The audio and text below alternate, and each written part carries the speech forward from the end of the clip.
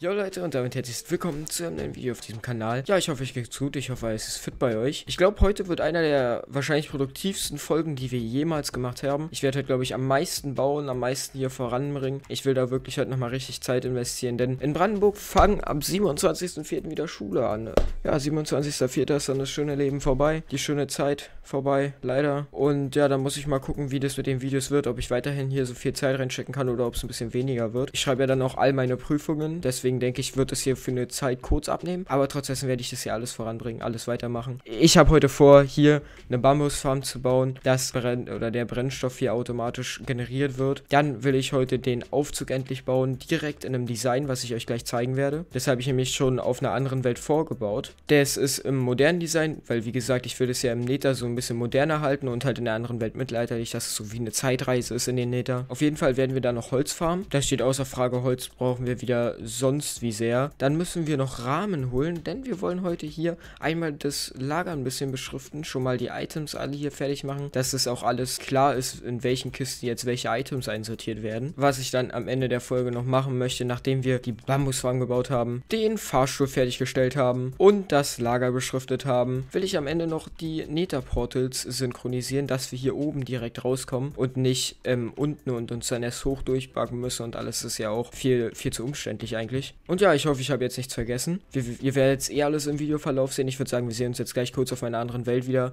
Dort zeige ich euch dann das Design für den Fahrstuhl. So, Leute, angekommen auf der neuen Welt, beziehungsweise auf der anderen Welt, auf meiner kleinen Tüfte-Welt kann man das eigentlich nennen. Übrigens sind 90% dieser Welt gedownloadet, also denkt nicht, ich habe das alles selber gebaut. Auch wenn man sagen muss, die Häuser sehen echt nice aus, ne? Hier ist ähm, das kleine Fahrstuhldesign, ist gerade erstmal nur was Kleines. Ist ein bisschen modern, ich will es ja auch im Prinzip im Nether dann, wie gesagt, modern bauen. Ich habe es versucht, wie so ein Fahrstuhl wirken zu lassen, daher hier hinten so eine Art Ketten. Und hier auch alles mit Glas, dass man sich auch raus, oder dass man auch rausgucken kann, wenn man sich hoch LTP. Hier wird dann im Prinzip unser Boden sein. Hier sind dann die Kisten am Rand, das sollte ja alles vorstellbar sein, denke ich. Und dann kann man hier rüber rüberlaufen, hier in den Fahrstuhl gehen und sich dann einfach hochwipen. Das alles über diese Loren. Ihr seht, das wird eine ganze Menge an Eisen, eine ganze Menge an Quarz kosten. Das Quarz müssen wir heute übrigens auch noch farmen. Aber ich denke mal, das sollte nicht ein allzu großes Problem sein. Nur ich muss sagen, ich kann mir dieses Fahrstuhldesign so nice vorstellen. Stellt euch mal vor, ihr kommt aus dem Nether raus und sieht dieses Design nur halt bis hoch zu so einer weißen, kugelförmigen Form. Oder, weiß ich nicht, Viereckform ist es ja momentan. Ähm, die auch aus Quarz besteht. Das werden wir dann alles noch erneuern. Das kann ich mir dann schon heftig vorstellen. Ich will ja, also die Sortiermaschine und diese Farben, die wir jetzt über dem Nether haben, über dem Bedrock, wird ja nicht das einzige sein, was dort bleibt. Beziehungsweise was dort gebaut wird. Das hier wird definitiv auch dazu kommen. Beziehungsweise werden da auch noch ganz andere Sachen über den Bedrock gebaut, ähm, die auch alle modern Stil gehalten werden. Und deswegen wird es da oben, denke ich, alles ein bisschen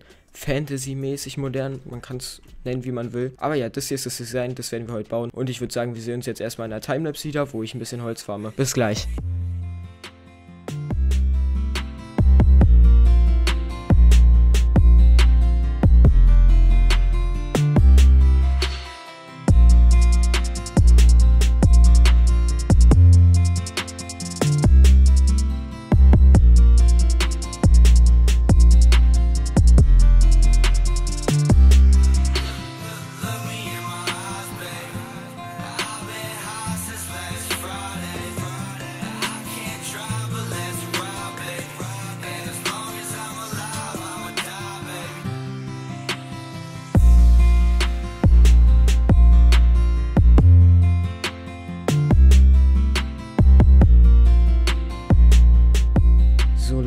Zurück aus der Timelapse. Ähm, wir sind jetzt hier in einer anderen Umgebung. Ich habe ein bisschen Quarz gefarmt, weil ich keinen Quarz habe und ich das ja auch zum Bau brauche. Ich hoffe mal, das reicht. Wenn nicht, müssen wir zwischendurch nochmal neues Farmen gehen. Ich möchte aber kurz mal ein bisschen weg von meinem eigentlichen Videokonzept so. Ich habe nämlich einen Kommentar gelesen, der ist hier auch nochmal eingeblendet. Das ist mir auch in letzter Zeit selber schon ein bisschen aufgefallen, muss ich sagen. Ich wollte es an sich wieder mal ändern, dass ich wieder mal von mir erzähle, ein bisschen von meinem Leben erzähle, erzähle, was so abgeht. Weil ich ja wirklich mich momentan so auf das Bauen hier konzentriere und auf das Game, dass ich so dieses Story erzählen und so eigentlich komplett weglasse. Guck mal mit den Stories, die ich erzählt habe, mit all dem habe ich immer so versucht oder war mein Ziel, dass ich euch als Zuschauern etwas erklären kann, was ihr vielleicht noch vor euch stehen habt, weil ich denke, der Großteil meiner Community wird ein Stück jünger sein als ich, beziehungsweise teilt ja jeder Mensch andere Erfahrungen. Der Grund, warum ich es euch immer erzählt habe, war eigentlich der, dass ihr als Leute, die das sehen, vielleicht daraus lernen können und direkt wissen, wie was ist und da vielleicht nicht mit so einer Nervosität, mit so einer Angst davor oder sonst was, wie ich es hat, zum Beispiel hatte, ähm, dann in diese Situation gehen. Wisst ihr, wie ich meine? Wir haben jetzt zum Beispiel bald wieder Schulanfang und um ehrlich zu sein, kann ich das absolut nicht nachvollziehen. Guck mal, wir sind in der größten Corona-Krise. Die Sicherheitsabstände müssen noch eingehalten werden, Kontaktsperre ist noch in manchen Ländern ist noch Ausgehverbot und wir oder ich jetzt als Abschlussklasse gehe ab dem 27.04. wieder zur Schule. Was absolut keinen Sinn macht, weil ich in der Schule, also ich habe noch keine genauen Regelungen bekommen, möchte ich an der Stelle erwähnen. Ich habe schon von Freunden gehört, die in anderen Bundesländern wohnen, wie das da geregelt ist. Und übrigens habe ich auch gleich das ganze Glas gebrannt, falls ihr euch wundert. Das ist Sand, was wir gefarmt haben in der Timeless und das habe ich gleich gebrannt. Auf jeden Fall in anderen Bundesländern ist es ja so geregelt, dass sie jetzt auch bald wieder Schule haben und die haben schon genaue Informationen von der Schule bekommen, dass sie zum Beispiel aufgeteilt werden in Gruppen, dann nur die Hauptfächer unterrichtet bekommen und eben auch nur drei Stunden am Tag Unterricht haben, bin ich der Meinung. Wie das bei unserer Schule hier in Berlin abläuft, kann ich euch gar nicht sagen, Alter. Das Ding ist, ich kann es halt nicht nachvollziehen, weil also no joke, in der Schule wird sich halt niemand, also wirklich niemand an diesen Sicherheitsabstand halten. Niemand. Am Ende sind die, die Spassen, die dir halt einfach zu nahe kommen, vielleicht genau die, die es haben, No front, Alter, meine Freunde, ich liebe euch trotzdem, aber es ist halt einfach so ein großes Risiko, ähm, wenn man sich zu nahe kommt und man nach Hause kommt und dann die Eltern infiziert. Die Großeltern vielleicht oder sonst was ist, wisst ihr, das ist einfach so krass, wenn man sich das mal überlegt, was das eigentlich für Auswirkungen haben kann. Nur weil wir gezwungen werden, wieder zur Schule zu gehen und man doch eigentlich davon ausgehen kann, dass Leute im Alter von 14 bis 18 Jahren halt einfach den Sicherheitsabstand nicht immer einhalten können, zumal man es halt auch vergisst. Das ist doch einfach so, das ist ein Fakt.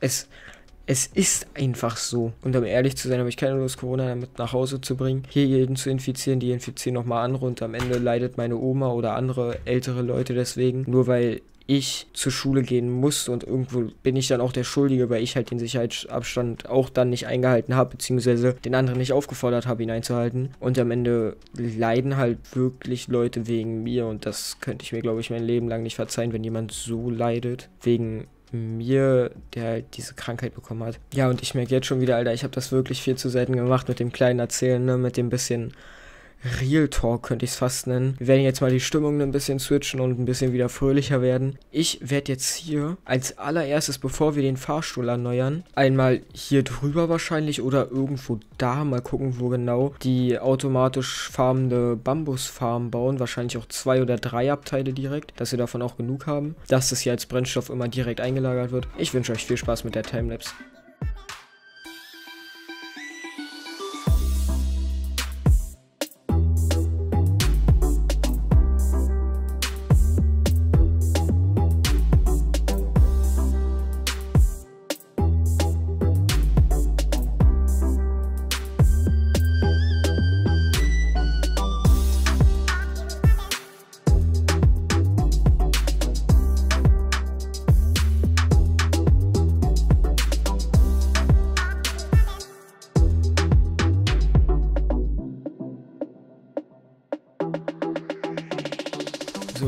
Willkommen zurück aus der Timelapse. Es war ein ganz, ganz, ganz großes Hin und Her. Wieder mal, ihr habt es gesehen, ich habe erst zwei Farben gebaut, wollte eigentlich erst vier davon bauen. Aber dann ist mir aufgefallen, da kommt irgendwie jede Sekunde kommen da zwei solche Bambusröhrchen raus. In der Minute haben wir circa zwei Stacks ähm, Bambus. Und das kriege ich einfach gar nicht so schnell hier verbrannt, wie es da oben produziert wird. Deswegen habe ich hier auch einen Hebel. Guckt mal, ich schalte ihn jetzt aus.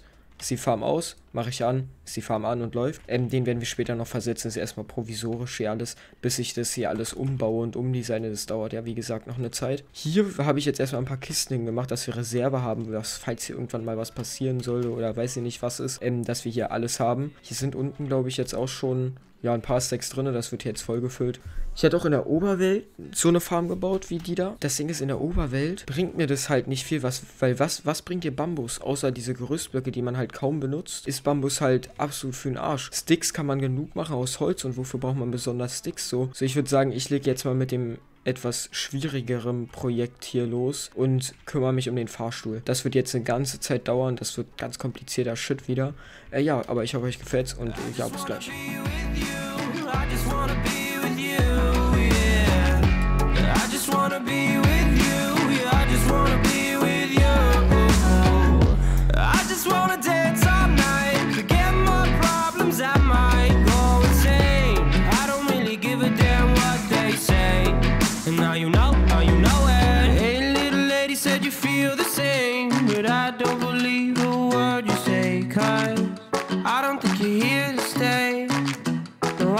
You're here to stay. So tell me what you want, tell me how you want it. Tell me all the reasons that you're running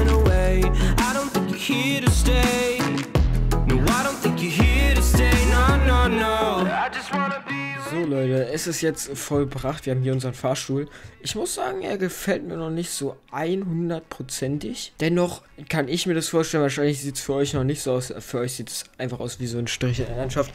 Ähm, ich kann mir aber schon vorstellen, wie das da oben voller Quarz ist. Wie wir wahrscheinlich dann hier alles ein bisschen mit Glas ummanteln. Dass es halt nicht so, naja, mittelalterlich aussieht. Halt einfach alt. Wisst ihr, das hier ist modern und der Rest ist übelst alt. Und deswegen sieht es hier alles so strange aus. Ihr seht schon, ich habe jetzt hier auch schon tatsächlich alle Items einmal beschriftet. Jetzt sieht man auch wirklich, wo was ist. Ähm, ich finde übrigens die Funktion mit den Rahmen auf dem Boden echt nice. Also die ist wirklich 10 aus 10. Damit kann man ordentlich was anstellen. Äh, ja, die Bambusfarm workt immer noch. Die ist da oben fleißig dabei. Hat man wahrscheinlich in der Timemaps auch gesehen. Wir haben jetzt hier schon ja, fast die nächste oder fast die Hälfte voll. Und ich habe übrigens Licht hier ein bisschen reingebracht, weil ich das echt viel nicer finde. Alter, ich kann mir das hier so fett vorstellen. Ne? Ihr könnt euch, also ich weiß nicht, ob sich ihr euch das hier so nice vorstellen könnt wie ich, aber wenn das hier alles ähm, modern eingerichtet wird und alles modern gebaut ist, dann wird das hier so fett geil aussehen. Alles, wenn man hier durchläuft, das wird einfach so eine richtige 10 aus 10, no joke. Hm, Leute, ich habe jetzt mal gegoogelt und tatsächlich gibt es keine 1.14 Tutorials ähm, zu dem Thema, die über den Bedrock zu synchronisieren. Weil ich bin der Meinung, ich habe das schon irgendwo mal gesehen. Keine Ahnung warum. Äh, Naja, wenn ihr da eine Lösung habt, gerne in die Kommentare damit.